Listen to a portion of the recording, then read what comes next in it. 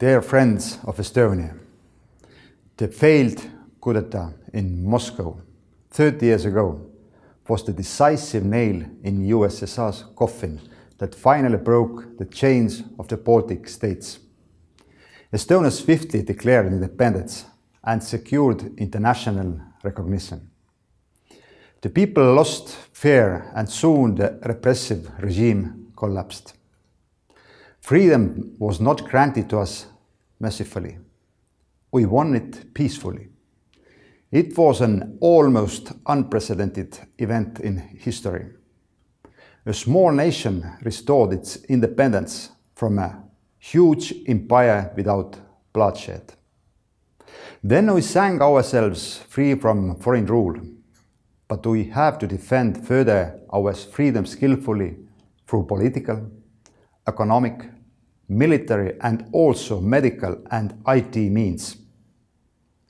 Estonia has got and has given substantial support to its allies in NATO and the European Union.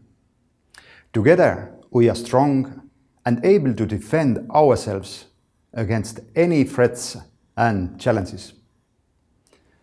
The eastern neighbors attempt to destabilize the Baltic states by pushing in thousands of migrants in hybrid attacks. The security situation continues to degrade. Estonia supports firmly the peoples of Lithuania and Latvia.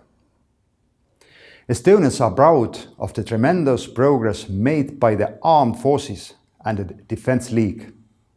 We have fully trust in the Estonian and allied forces that have strengthened their brotherhood in arms in our soil in many crisis areas around the globe. Defense cooperation between Estonia and the United States, the United Kingdom, France, Denmark, and other NATO and European Union allies and partners is key to Estonia's long-lasting freedom and independence. Long live Estonia!